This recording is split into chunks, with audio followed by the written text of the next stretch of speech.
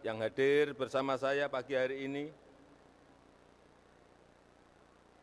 yang saya hormati Panglima TNI, yang saya hormati Gubernur Sumatera Utara beserta para wali kota dan bupati yang hadir, yang saya hormati Ketua Umum PP Muhammadiyah, Bapak Profesor Kiai Haji Haidar Nasir, beserta seluruh jajaran dan keluarga besar Muhammadiyah, yang saya hormati Ketua Umum Aisyah, beserta seluruh jajaran yang hadir, yang saya hormati Ketua Umum Pimpinan Pusat Ikatan Pelajar Muhammadiyah beserta seluruh jajaran pengurus, seluruh kader IPM dari Sabang sampai Merauke yang saya banggakan, yang saya cintai,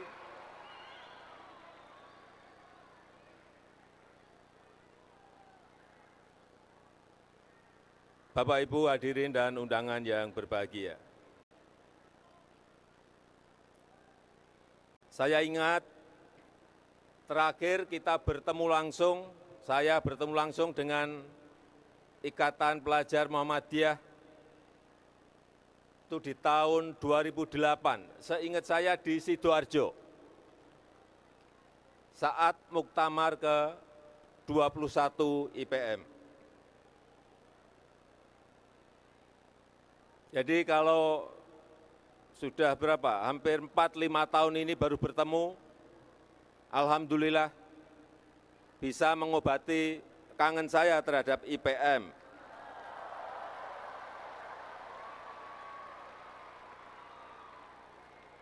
Maka begitu ada undangan, begitu ada undangan dari IPM akan muktamar, Mas Nasir Effendi datang ke istana menyampaikan akan muktamar di hari ini saya atur-atur waktu, harusnya hari ini saya berangkat ke Afrika. Tapi karena ada muktamar ke-23 Ikatan Pelajar Muhammadiyah, berangkatnya saya undur besok. dan bukan dari Jakarta, berangkatnya nanti saya langsung dari Medan.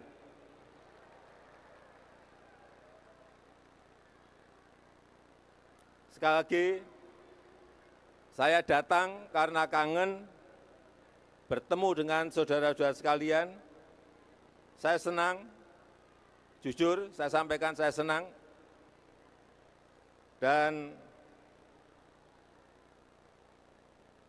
Saudara-saudara peserta muktamar yang berbahagia, zaman sekarang ini adalah zamannya anak muda. Zaman sekarang ini sekali lagi adalah zamannya anak muda. Zamannya generasi Y,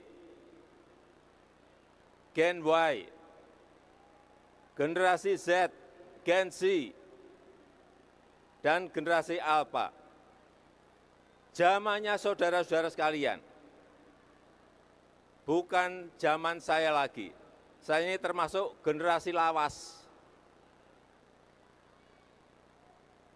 Sehingga sudah berbeda generasi. Cara melihatnya itu gampang. Sangat gampang, sangat mudah. Kalau lihat HP sudah dijauhkan seperti ini, kelihatan. Ini generasi dari mana kelihatan.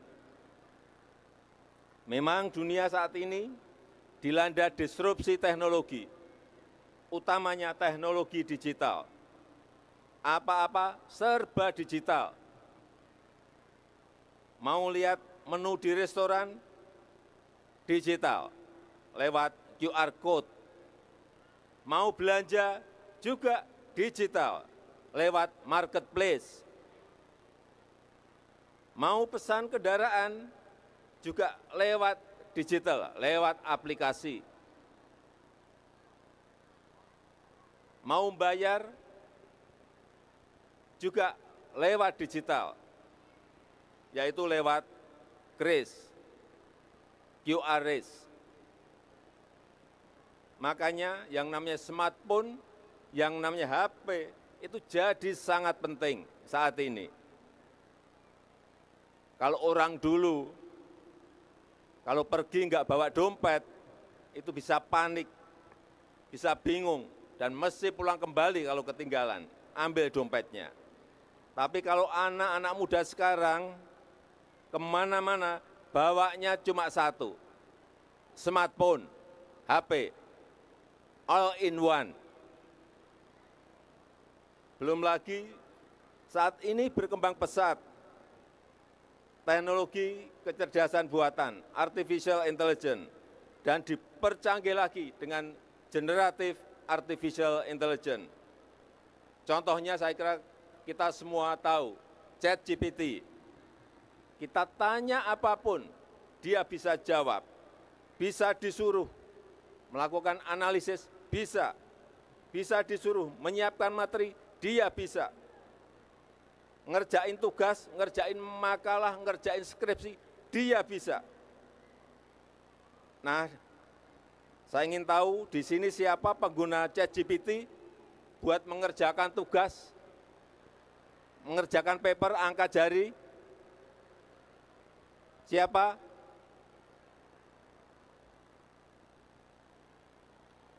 Yang angka jari tadi bisa maju ke depan, tapi sebentar, ada pertanyaannya. Pertanyaannya, jangan maju ke depan. Maju ke depan kalau bisa menjawab pertanyaan ini.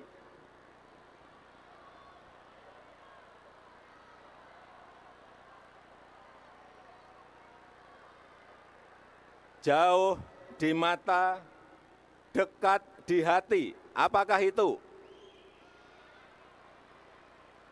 Maju ke depan satu orang.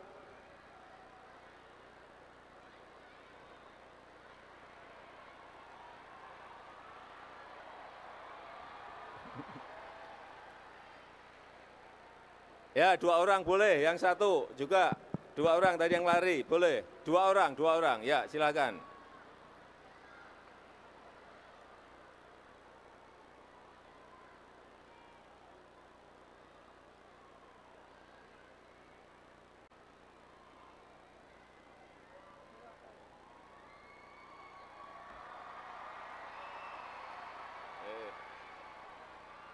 Sekali lagi saya ingin menanyakan, tolong dijawab. Jauh di mata, dekat di hati, apakah itu?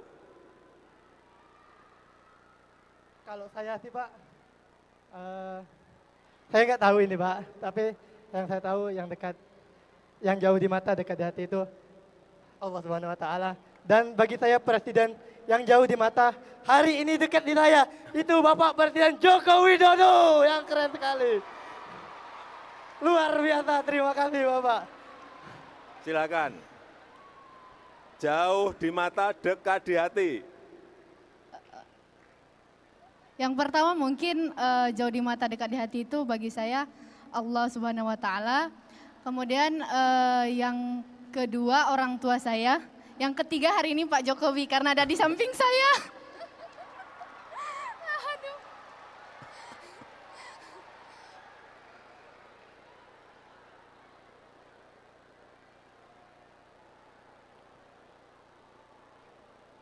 Tadi yang saya siapkan jawabannya bukan itu sebetulnya.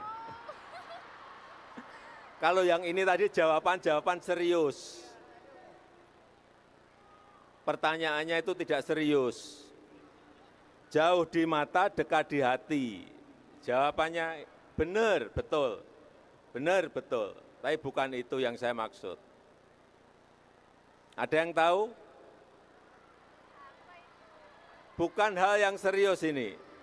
Jauh di mata, dekat di hati. Apakah itu?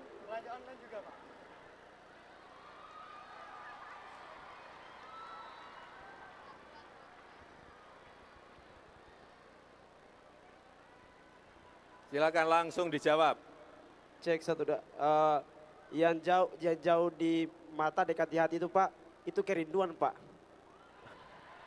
Rindu Pak, Kerinduan, rindu. ini semakin jauh ini.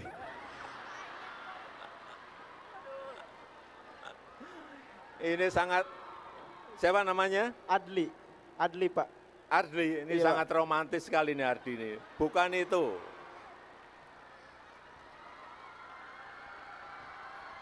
Jauh di mata, dekat di hati, silahkan. Satu lagi. Silahkan. Ya, maju.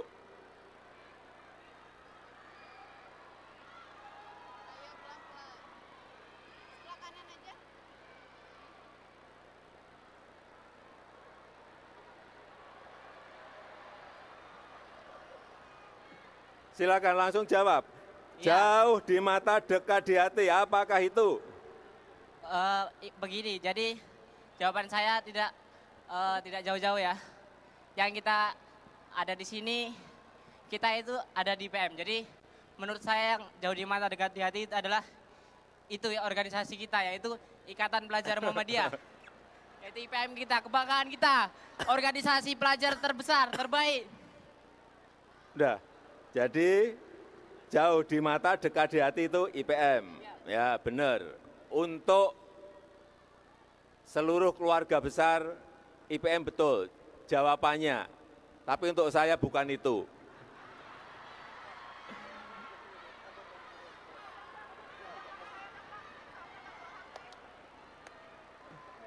Silakan kembali ke tempat, udah. Nama saya jangan aja, Pak. Nama saya Ma'ruf.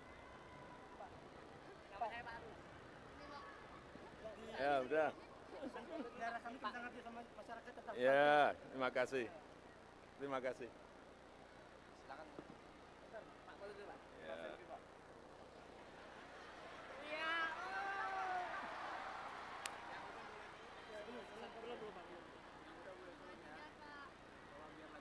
Ya. Ya, udah. Kasih. Ya.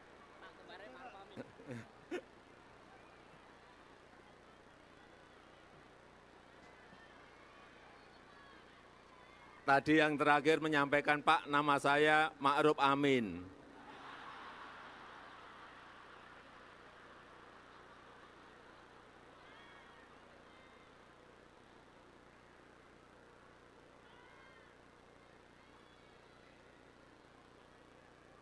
Bapak Ibu sekalian, saudara sekalian yang saya hormati, memang semua yang serba digital ini membuat generasi muda lebih unggul. Karena memang tumbuh di era digital. Dari awal sudah native digital. Oleh karena itu pesan saya, pelajari, kuasai, dan kembangkan dan manfaatkan semuanya untuk kesejahteraan umat. Sehingga saudara-saudara bisa menjadi generasi tangguh yang bukan hanya menguasai iptek, tapi juga memiliki budi pekerti luhur, memiliki moral yang baik, serta memperjuangkan kebenaran dan kemanusiaan. Tidak ada gunanya nilai sekolah 10, nggak ada gunanya. Kalau moralnya nol, kalau budi pekertinya tidak baik. Setuju?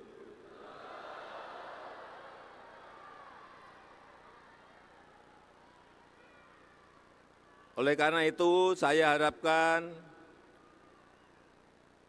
pelajar Muhammadiyah dapat menjadi teladan, menjadi generasi muda muslim yang berkemajuan, yang penguasaan ipteknya hebat, sekaligus memiliki moral, memiliki budi pekerti, memiliki mental juga yang hebat. Buat saya itulah sosok pelajar Muhammadiyah idaman. yang terakhir, saya ingin bertanya lagi, moga-moga ini ada yang jawab. Kalau yang bisa jawab, saya beri sepeda.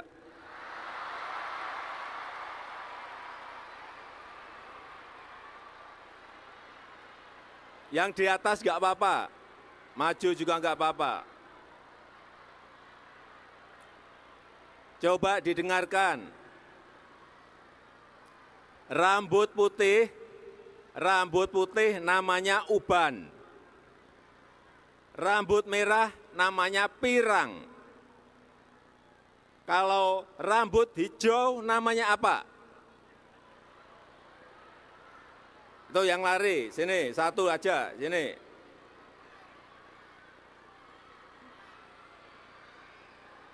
Lari dari atas tadi, silahkan. Rambut putih namanya uban, rambut merah namanya pirang. Kalau rambut hijau namanya apa? Silakan jawab, nama dulu. Tes tes. Nama. Oke. Assalamualaikum warahmatullahi wabarakatuh. Waalaikumsalam. Dikenalkan namanya. IPM Jaya. IPM. IPM. Jangan pidato loh. Namanya. Oke. Perkenalkan nama saya Aryo Prasetyo. Saya asli Depok. Aryo Prasetyo, Pak. Aryo Prasetyo, Prasetyo. ya. Saya Dari asli Depok. Depok. Cuman saya sekarang lagi eh apa namanya? Merantau, eh bukan merantau. Lagi di Bangka Belitung. Dan saya adalah perwakilan dari PDIPM Kota Pangkal Pinang. Langsung jawab boleh, Pak? Jawab. Eh didengarkan dulu langsung jawab. Oke. Rambut putih namanya uban. Rambut merah namanya pirang. Kalau rambut hijau namanya apa? Rambutan belum matang, Pak.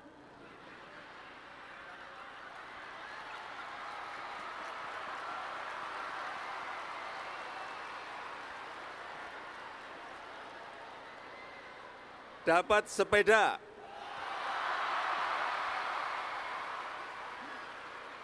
Silakan. Ya.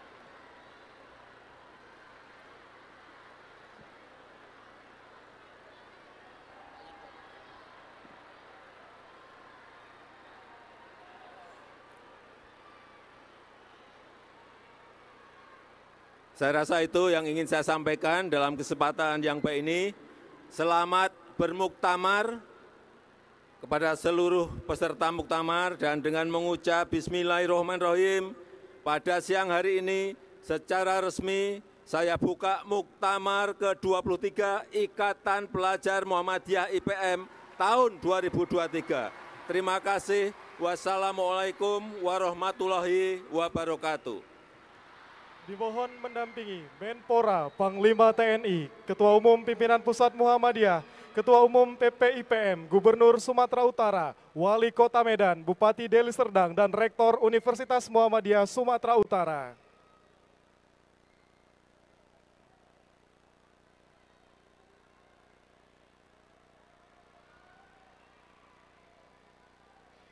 Selanjutnya pemukulan taganing oleh Presiden Republik Indonesia.